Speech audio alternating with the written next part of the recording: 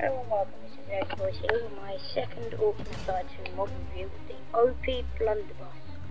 The OP Blunderbuss is just amazing. They just changed the Blunderbuss to make it overpowered.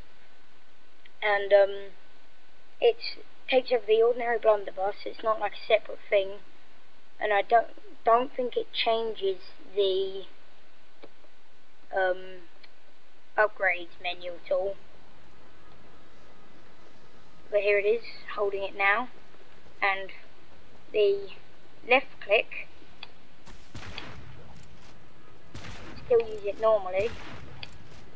But if you hold it down, turns into some rapid fire gun thing. And the right click is no longer a grenade. It's like it's an, pretty much just a nuke that doesn't cost any mana. Look, I will show you, but prepare for a bit of lag.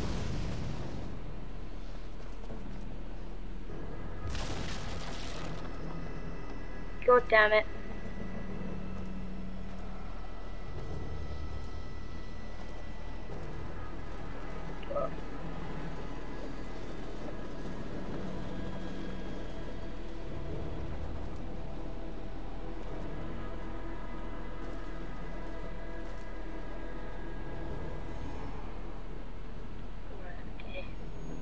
Three.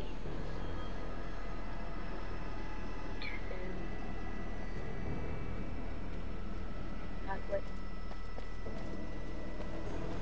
We're back and alright doing that. So yeah, we're not we're literally just gonna have no traps or guardians whatsoever, we're just gonna kill them. Oh. Just gonna kill them. At his face right. Make it big.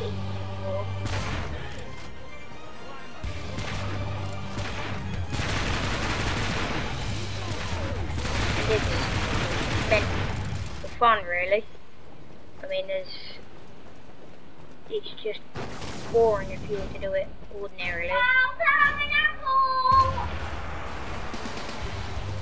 Oh, that caused an explosion. Logan, shh, don't shout. I'm doing something. Okay? Don't say anything.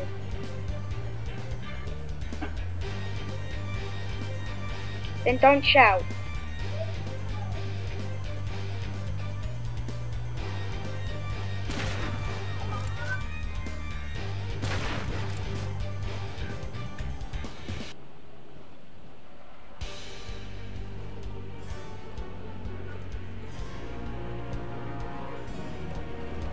Okay, the lag is now over. Uh, you can find this in the Steam Workshop just by writing OP Blunderbuss.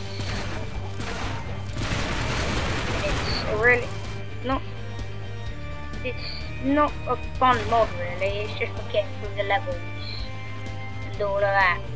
So yeah, this is my second review mod